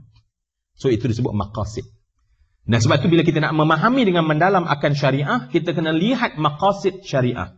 Ya, boleh disebut maqasid syariah ataupun al-maqasid asy-syar'iyyah. Ya, boleh sebut maqasid syariah mudhaf mudhaf ilaih ataupun al-maqasid asy-syar'iyyah. Maknanya hikmah tadi. Hikmah ni yang tersirat dah. Eh kenapa Allah suruh ini? Kenapa Allah suruh ini? Kenapa Allah suruh ini? Allah tak akan suruh saja-saja nak mendera kita. Tetapi mesti ada kebijaksanaan. Kenapa kita suruh anak kita baca mengaji, membaca. Anak kita mesti marah kan? Oh, semua marah. Umi ni, eh? Umi ni sikit mengaji, sikit mengaji. Bila dia faham hikmah, Allah, memang saya kena mengaji. Tetapi kalau dia tengok saja pada peraturan, ya, nak makan es krim. Jangan makan es krim. Allah, ada larangan macam-macam. Tak best tu larangan. Tapi kalau dimakan jadi apa? Sakit demam, tak pergi sekolah, tak boleh belajar. Tak boleh bercuti. Nampak tak? So, itu disebut maqasid. Yang ini hikmah kepada syariat. Jadi Nabi ini bukan sekadar mengajarkan secara literal. Okey, you kena buat ni, ni perintah ni, perintah ni, perintah ni, perintah ni, perintah ni, perintah. Tetapi dalam perkataan Nabi, kita akan jumpa bahawa Nabi itu mengajarkan tentang hikmah kebijaksanaan. Ya, maknanya hukum jangan tengok pada hukum saja tetapi hikmah pada hukum. Sebab itulah bahasa mudah pada hari ini disebut sebagai maqasid asy-syariah. Maqasid syariah. Ah. Segala perintah Allah. Ah. Ya. Kita sampai sekarang ada kita yang yang mengajar khususnya macam hikmah sembahyang. Oh. Ada begitu lagi. Ini yang Ya. Ya. Ya. Nanti saya saya saya kembangkan ke belakang eh. Sebab belakang sudah kena, kena apa Haji cakap ya. Kena pakai tiga mic lah aku lepas ni ya. Ataupun ada 10 mic at least ya. Seorang satu yang biasa bercakap tu kena bagi mic. So baru saya tak. Baik Tuan Haji kata ya. Uh, Okey sekarang setelah kita tahu bahawa Nabi itu peranan Nabi itu yang dihantar oleh Allah ya kita tengok dihantar oleh Allah arsalna kami telah utuskan fi'il madhi fi'il mudhari. Apa fi'il mudhari'nya? Adalah untuk Nabi membacakan kepada mereka ayat kami membersihkan kamu kemudian mengajarkan kamu kitab. Yang keempat hikmah. Baik tuan haji tanya kenapa hari ini kita dapati banyak kita hanya bercerita tentang hukum semata-mata ya. Hukum solat. Tetapi hikmah solat kita tak cerita ya. Kenapa kita banyak bercerita tentang haji? Pergi kursus haji kita cerita hukum semata-mata. Oh ni kena buat. Ini kalau tidak kena dam. Ini ini ini ini maka akhirnya kita menjadi seorang yang sangat rigid dan menjaga peraturan. Tetapi kita tak dapat nak mengejar dan mengkaji hikmah kebijaksanaan. Kenapa? So kenapa tu? Payah nak jawablah tuan haji kenapa? Tetapi saya yakin daripada banyak-banyak pengajian akan kita dapat ya hikmah-hikmah itu ya mungkin uh, sebab itulah kalau mungkin kalau kita pergi ke Mekah ya kita pergi kita akan cuba tengok hikmah bukan sekadar hukum yang ada. Ya tawaf. Apa hikmah daripada tawaf? Apa hikmah daripada sa'i? Apa hikmah daripada orang macam orang haji melontar? Apa hikmah kita mabit? Dan semua itu ya. Oleh kerana sebab hukum ni hukum ni tuan haji hukum ni dia sifatnya hitam dan putih. So senang cerita ada pun hikmah ni maknanya sesuatu yang sesuatu yang tidak hitam dan putih. Dan sebab itulah Allah pun menyebut orang yang diberi hikmah dia mendapat satu nikmat yang besar. Ha, ya? Dia mendapat kebaikan yang banyak. Allah sebutkan kebaikan yang banyak. Jadi sebab itu mungkin kerana itulah sebab mungkin payah sedikit. Dan kita ni akhirnya hanya terikat dengan hukum tetapi tak melihat hikmah. Tapi marilah pada pagi hari ini kita kena yakin dalam diri kita bahawa tidak ada satu perintah ataupun hukum melainkan mesti ada kebijaksanaan. Wisdom yang sangat hebat yang ada di sebalik hukum-hukum tersebut. Ya. Okey, uh, wa ilmu kitab wal hikmah wa yu'allim wa yu'allimukum wa yu'allimukum ma lam takunu ta'lamun serta mengajar kamu apa-apa yang belum kamu ketahui. Maknanya apa? Agama Islam akan memberikan kepada kita ilmu yang bukan sekadar kamu tahu sekarang tetapi sebenarnya dalam ilmu Islam itu sendiri ada ilmu yang bersifat ber, berterusan dia punya knowledge dia. Sebab itulah daripada ayat ini, daripada Al-Quran itu berkembang ilmu-ilmu yang sangat banyak dalam ilmu Islam ya? Dan akhirnya daripadanya terbit tamadun tam, tamadun hebat yang namanya tamadun Islam yang tersendiri. Kenapa? Sebab daripada ilmu yang ada dalam Islam itu dikembangkan. Tetapi ingat dengan prinsip Islam. Kita ada kedoktoran tetapi kedoktoran kita dengan prinsip kita yang berbeza. Kita ada architecture tetapi arkitek kita yang berbeza dengan arkitek yang lain. Kita ada engineering tetapi engineering. Semua itu ada dalam ajaran Islam yang Allah kata wa yu'allimukum dan dia akan mengajarkan kepada kamu malam takunu ta'lamun apa yang kamu tidak ketahui. Right? So kena ada perbezaan itu insya-Allah. Okey, sangat menarik. Ini ini semua adalah ciri-ciri umatan wasata yang Allah gambarkan kalau kita nak menstruktur sebuah negara yang hebat, sebuah daerah yang hebat, sebuah keluarga yang hebat, ambil tengok agenda-agenda ini dan jadikan agenda-agenda kita insya-Allah. Dan ayat ini kita nak habiskan pada ayat 152 pada pagi ini. Allah Subhanahu wa taala sebutkan fadhkuruni ya. Ya. Fadhkuruni maka kerana itu ingatlah kepadaku kata Allah. Ya. Jadi tujuan semua ayat Quran tadi tujuan atasnya ingat Allah. Kiblat tadi tujuan ingat Allah. So apa saja untuk mendapat hidayah ada pada zikrullah pada ingat Allah jadi sebab itulah kalau ulama ulama amilin dahulu dia bukan sekadar mengajar mengajar mengajar dia akan bagi amalan-amalan supaya kita zikir ingat Allah. Ya kalau tidak kalau tidak manusia macam kita ni ya, dalam kelas pun tak tahulah ingat tak ingat Allah kan? Ingat tak bayar bil pun ada lepas ni Allah akbar lepas nak ke mana? Eh, eh, apa tak lagi luar kat luar nanti ya sembang-sembang bisnes lah, lagilah lupa nak ingat Allah ya. Sembang politik panjang pula tu lagilah tak ingat Allah. Jadi sebab tu Masya Allah atas semua sekali fa fa is maka. So bila maka itu adalah conclusion. So maka so bila maka maknanya bila cerita-cerita-cerita maka kenalah begini-begini. So, fadhkuruni maka ya, kerana itu. So, kerana itu, so kerana yang tadi tadi tadi tadi itu, maka ingatlah aku kata Allah. Ingatlah aku. So, kata kunci yang paling penting pada kita semua untuk dengan Allah mesti ingat Allah. Dan di sini dikata yang ini dengan solat. Apa makna solat? Apa makna solat kita kata? Hmm, boleh jadi doa, Secara khususnya solat lah. Solatnya secara khusus bila yang paling dominan maknanya adalah solat. Di mana solat? Solat maknanya takbir sampai salam tu. Solat juga boleh bermakna doa. Solat juga boleh bermakna berselawat. Ha, so itu boleh buat. Fadhkuruni. Maknanya boleh solat. Boleh kita berdoa. Dan boleh kita berselawat. Boleh. Ya? Masuk dalam ayat ini. Maka kalau kita nak supaya Al-Quran tu hidup, kita jadi umatan wasatan dan segala macam, maka boleh buat perkara-perkara tersebut. Ya? Dan tasbih. Ha, dan tasbih. Ha, nampak tak? Mensucikan. Kerja kita mensucikan, mensucikan, mensucikan. Sama ada dengan tasbih, yakni lafziyah, lafaz. Subhanallah, subhanallah. Ataupun kita mengaji satu benda yang mentasbihkan Allah subhanahu wa ta'ala. Ha, itu kita kena buat. Ya? Itu masuk dalam zikir. Maksud sebenar zikir. Maknanya fadhkuruni ingatlah ku kata Allah dengan solat, dengan doa. Jadi sebab itu doalah sepanjang masa dengan Allah. Cakap je dengan Allah. Cakap je dengan Allah, ya. Dan berselawat banyak-banyak pada Nabi. Berselawat banyak-banyak pada Nabi. Ya, Allah akbar. Kita ni payah nak selawat kan tak banyak selawat. Selawat banyak-banyak pada Nabi. Ya, itu pun nasib baiklah kan ada orang ajak selawat kan. Kalau tidak, hmm, tidaklah, lebuh lah ya? dan kemudian uh, ada yang mengatakan bahawa maksudnya nescaya ku balas amalanmu itu nescaya ku balas amalanku ya uh, maksud saya. Azkuruni azkurkum. Ya azkurkum fazkuruni azkurkum. Nescaya aku ingat kepada kamu.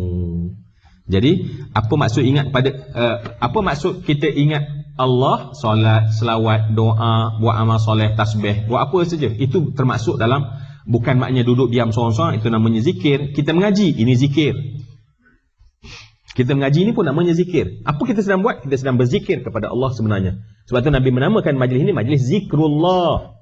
Nama majlis kita ini Di samping majlis ilmu yang kita katakan bahawa Dia adalah majlis zikrullah. Maka kita semua sedang buat apa sekarang? Berzikir Mengingati Allah Sebab Allah suruh Fadkuruni Ini termasuk ni Yang kita buat ni termasuk. InsyaAllah ya Maka jawabnya adalah jawab syaratnya adalah maka jawabnya adalah maknanya hasil itu adalah azkurkum. Sebab itulah digunakan azkur dengan jazam bukan azkurukum azkurkum.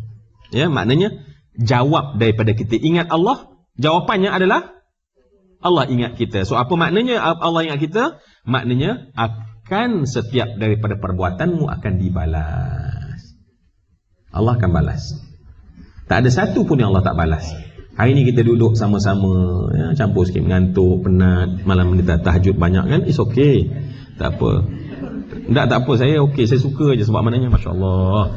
Tentulah sebab keinginan pada ilmu kita datang kan. Ha, kalau tidak, awal lagi tak keluar dari rumah kan. Baik, Allah dah pencin ni kan. kan relax kan. Tapi tuan-tuan dah datang juga kan. InsyaAllah Allah balas. InsyaAllah Allah balas. Ya.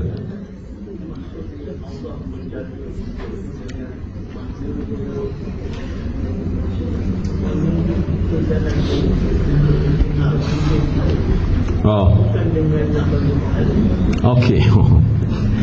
Okey Tuan Haji. Sebab tu dia kata ada yang mengatakan maksudnya. Ha, di sini tertulis ada yang mengatakan maksudnya. So maknanya azkurkum itu aku ingat pada kamu uh, pertama sekali kita baca dalam kitab ni bagi tahu maknanya yang pertama sekali kamu akan mendapat ganjaran. Kamu akan mendapat balasan. Kamu akan mendapat jazak. Kamu akan mendapat pahala. Kita akan mendapat pahala mendapat pahala. Tak nak ke pahala? Nak kan Of course nak Sebab tadi kita katakan bahawa Dunia Pahala memang tak ada nilai Sebab tu kita pergi ke 7-Eleven Nanti Beli Roti Gardenia Jangan hal lain Beli roti Gardenia Lepas tu dia tanya Mana bayaran Pahala saya kuliah duha tadi ambil lah kan no, no, no, no. Dia tak nak terima Ya tetapi bila kita masuk dalam kubur, kita bawa duit, duit pula tak diterima. ya, tolong bawa semua, bawa cek, bawa cek semua ya. Letak dalam tu, letaklah cek-cek kita tu tak ya. Ha, jadi malaikat di sana pula tak guna pula duit. Macam kita tak guna pahala di sini. Di sana pakai pahala saja. Masuk saja kenapa berceragah? Kenapa jadi luas? Pahala yang meluaskan. Kenapa berceragah? Pahala yang tak cukup tersebut. Sebab tu jangan kata kita tak perlukan pahala sebab itu benda paling penting buat kita. Paling penting buat kita. Ya, jaza adalah perkara yang paling penting. Wal baqiyatus salihatu khairun 'inda rabbika thawaban. Semua yang kita buat ini disebut baqiyatus salihat. Yang kita buat ni baqi yang soleh. Namanya, ya. Nama kita ni duduk-duduk ni namanya baqiyatus salihat. Khairun 'inda rabbika lebih baik di sisi Tuhanmu. Khairun 'inda rabbika thawaban. Apa kita nak terjemah thawaban? Bahasa Melayu? Pahala. Pahala. So dalam Al-Quran disebutkan pahala banyaklah ayat-ayat lain ya. Pahala. So kita dapat pahala ya.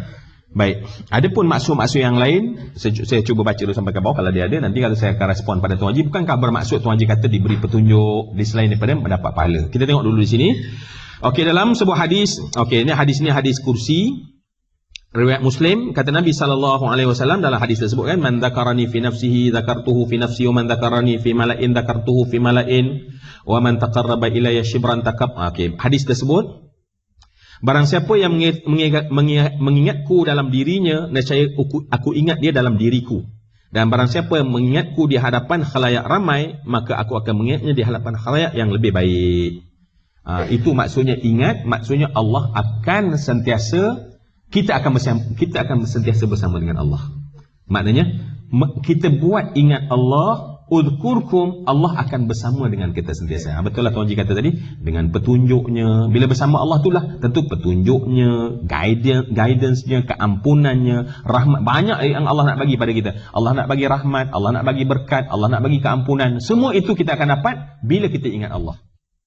Dan kita tak ingat Allah, rahmat tak dapat, maghfirah tak dapat, berkat tak dapat. Ha, jadi kuncinya adalah ingat Allah Subhanahu Wa Taala dan yang kedua sebagai conclusion kepada yang kita bincang di atas wa dan dan ataf dan bersyukurlah kepada aku. So kalau macam tu agenda kita lepas ni yang pertama zikir, yang kedua syukur. Zikir dan syukur. Ingat dan berterima kasih. Ingat dan berterima kasih ya. Dan bersyukurlah kepadaku atas nikmatku dengan jalan taat kepadaku. Jadi antara cara menunjukkan seorang itu bersyukur adalah melakukan ketaatan. Jadi bila dia membuat satu ketaatan, dia sebenarnya sedang bersyukur. Dia melakukan ketaatan, dia sedang bersyukur. Keluar nanti kita cari tabung masjid, kita bagi tabung masjid. Dia sedang bersyukur pada Allah. Ya, setiap ketaatan kita. Bagi salam, assalamualaikum ya tanya khabar pada orang sebelah. Buat baik-baik dengan orang. Itu ketaatan dan itu adalah bersyukur. Itu adalah bersyukur. So maknanya zikir dan syukur maknanya sangat luas. Wala takfurun dan janganlah kamu engkar kepadaku kata Allah. Ya dengan berbuat maksiat dan neraka kepadaku. So ada pesanan akhir tersebut ya Baik, insya-Allah kita akan sambung pada ayat 153. Kita jumpa ayat Allah ya ayyuhalladzina amanu sta'inu bis-sabri was-salah. Innallaha ma'as-sabirin. Ah, best cerita yang ni akan datang. Kita akan cerita tentang jalan kita dengan Allah setelah kita dah firm kita punya kiblat kita, setelah kukuh kita punya asbab pertama nikmat dikekalkan oleh Allah kepada kita menjadi kita umat yang hebat. maka kita akan diajar bagaimana cara kita nak isti'anah dengan Allah. Bagaimana cara kamu yang terbaik kerana kamu nak minta tolong daripada Allah. Daripada Allah. Okey, ada satu soalan akhir sebelum kawan-kawan kita packing-packing bag dia. Boleh tak? Maknanya boleh tak? Ada tak? Ada. Ha. Okey. Jadi kita uh, semayang subuh berjemaah. Uh-huh. Nanti saya saya akan cakap belakang eh, insya-Allah. Semayang subuh berjemaah, ini kita dengar kuliah subuh. Kuliah subuh. Oh. Sampailah waktu subuh. Hmm. Lepas ini kita semayang sunat isyak kan. Hmm. Jadi dalam haji Nabi ini kita dapat pahala haji umrah dan yang sempurna-sempurna. Okey. Jadi zikir di sini, adakah dengan kita mendengar zikir pada pengantin semua tu kita kena zikir juga? Ya. Apa kita zikir masuk haji tu? Ya. Ya. Ya. Okey, baik. Saya uh, soalan tu haji ni sebenarnya ramai mungkin juga akan rasa nak tahu tentang perkara tersebut sebab bagaimana memahami hadis Nabi. Nabi menyebut tentang amal ya kalau dalam uh, sebagian ulama menulis amal yaum walailah. Ada kitab menulis tentang amalan manusia pagi uh, siang dan malam. Dan hadis-hadis ini dimasukkan ya hadis sebegini ulama masukkan dalam perbincangan mereka. Antara hadisnya adalah tentang anjuran Nabi, unjuran daripada Nabi supaya kita lepas solat subuh jangan segera meninggalkan tempat solat sehinggalah sampai kita selesai pada waktu dah boleh solat balik. Sebab bila kita once kita lepas solat subuh, kita telah ditegah untuk mengerjakan mana-mana solat. Ya. Mana-mana solat. Ya. Sehinggalah dibenarkan balik dan dibenarkan balik itu adalah waktu isyraq. So antara waktu itu, antara antara, antara apa ni fursah tu, antara masa tersebut, maka Nabi minta kita duduk dan berzikir. Duduk dan berzikir. So duduk berzikir, main WhatsApp, tengok Facebook, Ha, no. Tak boleh kan? Ha, tak boleh. Sebab kadang duduk masjid tapi tengok, oh, hebat. Oh, punya duduk update, upgrade dan segala macam. Status segala macam. No, no, no. Maknanya zikir adalah apa saja zikir. Bila sebut zikir, apa saja zikir. Cuma, Tuan Haji punya soalan adalah, tiba-tiba ada kuliah subuh pula. ada kuliah subuh. So, adakah dia ni tanakut? Tanakut maknanya, eh, alamak, aku nak zikir tapi ada kuliah subuh. Sekali tak dapatlah kelebihan Nabi kata, haji mendapat pahala haji dan umrah. Ya? Baik. Ya, maknanya sekiranya ada kuliah subuh, sebenarnya kita mendapat satu pahala lebih besar. Satu zikir, ah, yang kedua besar. Sebab benda ni penting sebab ada setengah orang bila kuliah subuh, Allah, kuliah subuh pula. Ha, kita dah biasa kan? Kita dah biasa kan? Dan akhirnya ada pergi duduk seorang berzikir. Ha, ya. Pada ketika itu Imam Ghazali menulis kalau dia buat dia tergolong dalam orang yang tertipu. Maknanya ada benda pahala, ada ganjaran lebih besar tapi kita ambil ganjaran yang lebih kecil. Ha, termasuklah kadang-kadang ya waktu maghrib waktu maghrib isyak tu kan. Kadang-kadang ada orang ya Allah semayang. Bukan kadang-kadang saya pernah kena sembahyang kat sebelah ni aja kan kita Allah. Kita nak ajar ni jemaah semayang kat sebelah ni. Jadi kita pun Allah Akbar cuak sungguh ya. Lagi dua rakaat, empat rakaat, enam rakaat, lapan rakaat. Ya.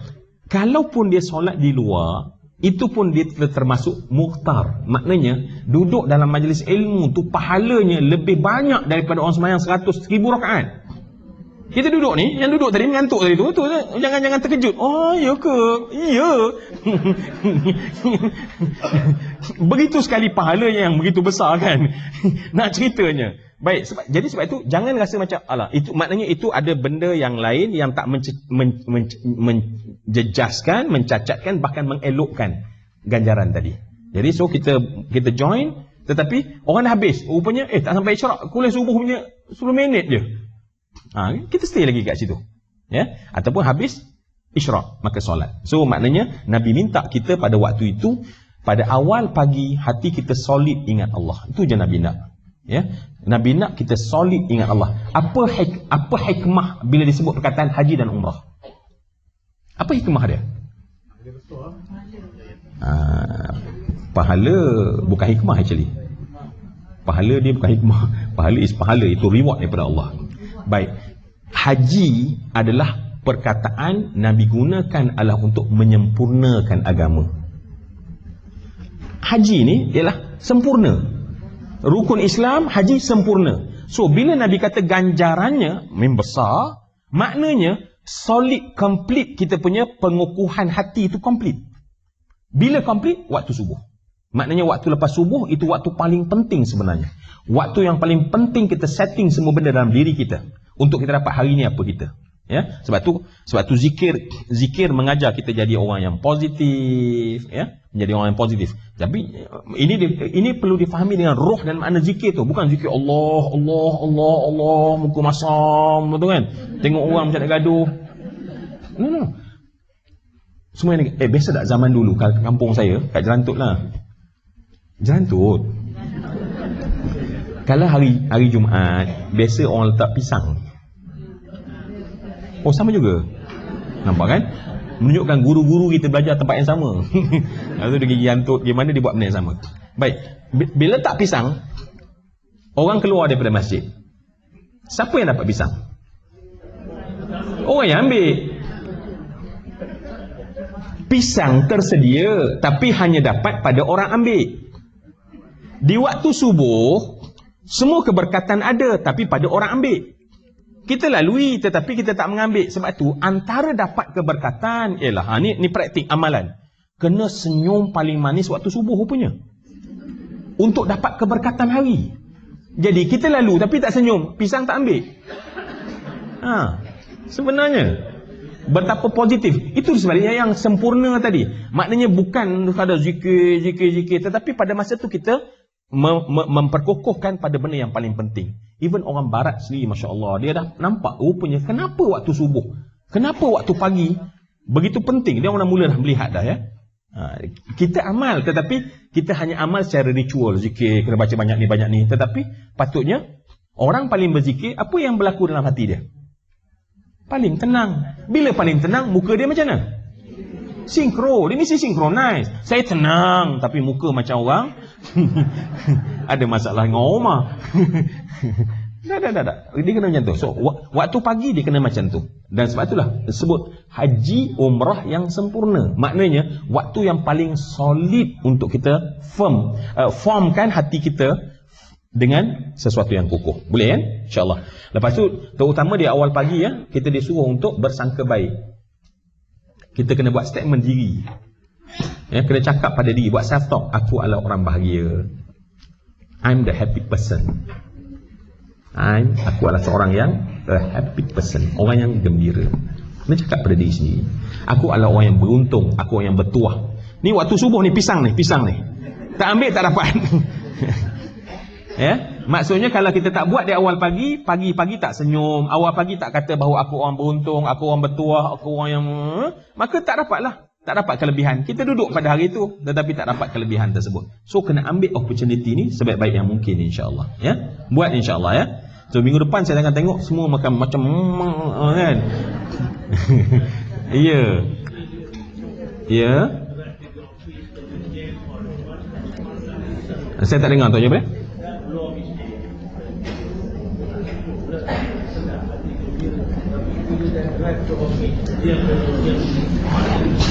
Oh, kan? Betul juga Tuan Haji kata kan? Tuan Haji kata Of course lah Pagi-pagi memang senyum. Tapi lepas tu jam Tu yang jadi masam kan? Baik. Saya Separuh bersetuju Dengan apa yang Tuan Haji sebut. Tetapi sebenarnya Kalau kita betul-betul Sebab itulah sempurna. Sebab tu haji tu sempurna. Maknanya Buat bagi sempurna. Bila bagi sempurna Apa masalah jam? Apa masalah jam? Sebab hati yang tak tenang. Hati yang tenang, jam apalah sangat. jam apalah sangat. jam kat sini Allah hari akhirat lagi teruk jam. Eh, jadi tak teruk. Nampak tak hari ni betul-betul ni ni ni serius lah kan? Dalam sehari dua hari ni kadang-kadang kita uh, kita pasang time bomb. Time bomb tu ya. Kadang-kadang orang horn ping keluar berlaku akhirnya bergaduh, berbunuhan. Bukan tak berlaku. So, kita sebenarnya boleh berlaku anytime. Anytime. Pergi kat sana boleh berlaku. Kenapa? Sebab jiwa-jiwa manusia yang tidak tamam tadi, yang tak sempurna tadi. So bila tak sempurna, dia mudah sangat tercetus konflik. Bila tercetus konflik, dia akan berpanjang-panjangan, berpanjang-panjangan. Jadi sebab itu Masya Allah, Nabi dah ajar, mari kita buat insya Allah ya. Maknanya, terima kasih tuan maknanya kita kita betul-betul manfaatkan di awal pagi. Sebab awal pagi adalah the best moment. The best. Tak boleh tak boleh lawan waktu lain. Tak boleh lawan waktu lain. Waktu awal pagi sebab tu Nabi suruh tadi macam tu sekali. Ya. Ha, cuma kita ha, cuma cuma cuma kita tu lah. Ya awal pagi dah tengok kan. Allah masalah. Semua masalah dunia kita dah absorb dalam diri kita.